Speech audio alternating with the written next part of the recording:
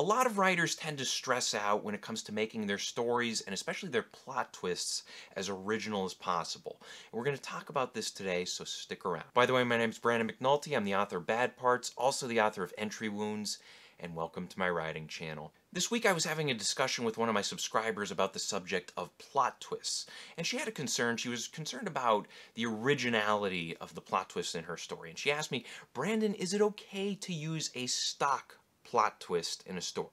And by stock plot twist, she means basically any plot twist that we've seen time and again, many times before. It's something that's familiar to us because her concern was that, okay, if a plot twist has been done before, then there's not really going to be much impact, is there?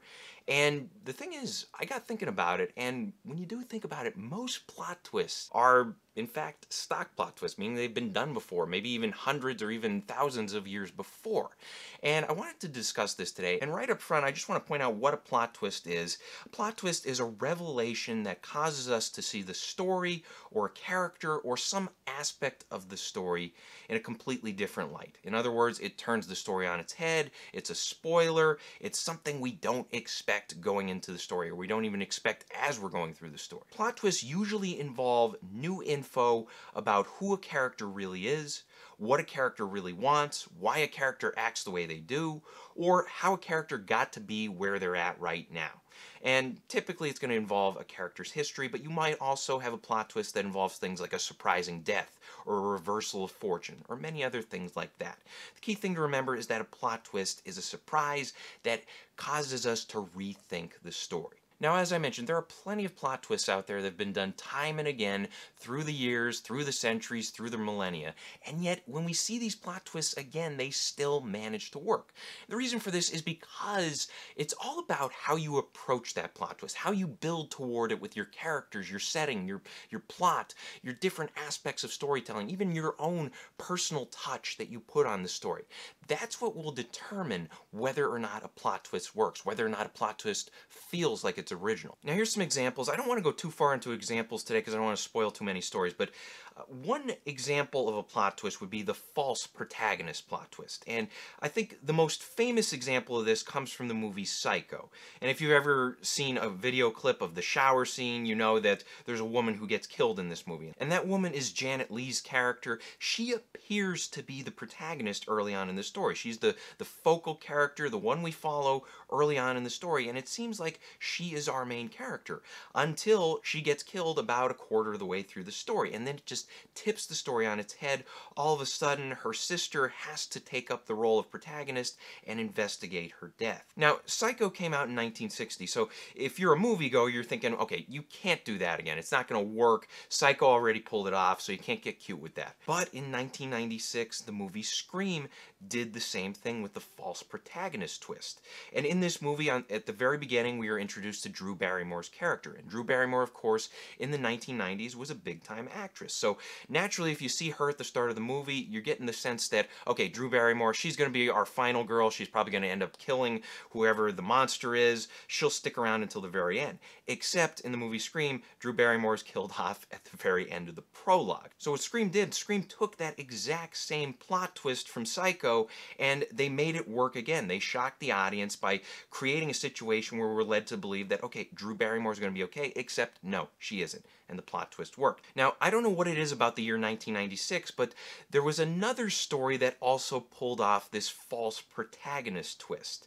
And it was a little book called Game of Thrones, which was a fantasy novel. And if you know anything about fantasy novels, typically these are stories where the good guys win out. There's good versus evil, good wins out most of the time in this genre.